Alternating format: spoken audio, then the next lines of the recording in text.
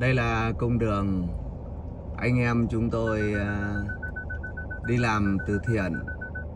Và các bạn có thể nhìn thấy những cái cung đường anh em chúng tôi đến với những cái bản làng. Là con đường à, chúng tôi đến với các con để phát áo cho các con nhé. Đường này là đường ổ voi à chú? Đúng không ạ? Thực sự nó, nó khủng khiếp luôn đấy. Vâng. Và đây là cái khu này á, được gọi là khu gọi là tam giác của vùng bãi vàng ngày xưa đấy anh em hiểu không? Thì các anh em thấy núi cao không? Và đây là cái câu chuyện có thật là ở đây người dân ở đây và kể cả các em bé mới sinh ra và nó lớn lên ấy, trong cái nó phải tiếp xúc với cái khói thuốc phiện rất là sớm. Ví dụ như ở sâu cái vùng mà chúng tôi đang vào đây á là hầu hết các em nhỏ là sống ở trong nhà là bố mẹ đều nghiện hết đấy cho nên là chúng làm việc ở trong các bãi vàng. Vâng thực sự nó cực kỳ sọc luôn.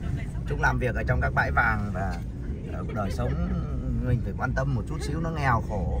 Và ví dụ như con gái thì tạo hôn sớm còn con trai thì cũng chỉ mới mấy tuổi là bây giờ là các cái bãi vàng họ đóng cửa rồi thì, thì nói chung là nó không còn như ngày xưa nó không khủng khiếp như ngày xưa nhưng mà nó liên quan đến cái, cái hút chích nữa.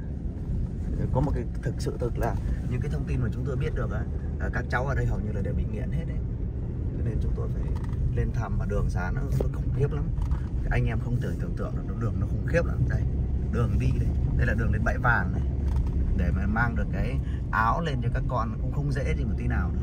chúng tôi nói thật là ờ, đoàn của chúng tôi là bây giờ là 2 phần ba là rớt lại rồi, không đi được nữa. Nó ói ra mặt xanh mặt vàng. Đây, anh em nhìn rừng thiêng nước đục nó trùng trùng điệp điệp như thế này. Đúng không ạ? Nó không có bóng người đâu mà núi cao như thế này.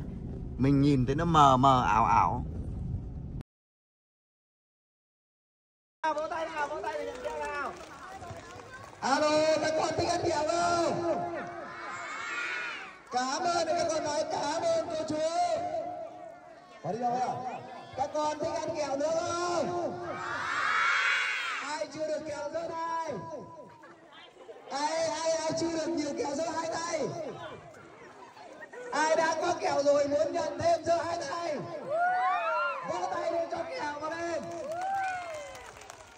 Vỗ